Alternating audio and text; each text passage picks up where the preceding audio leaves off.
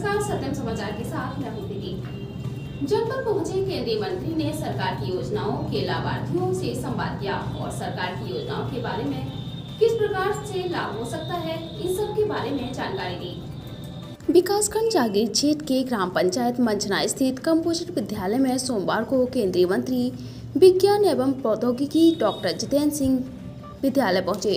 भाजपा नेताओं एवं ग्राम प्रधान ने फूलमाला पहनाकर व बुक्के भेंट कर स्वागत किया। कार्यक्रम का संचालन परियोजना निदेशक के के सिंह ने किया।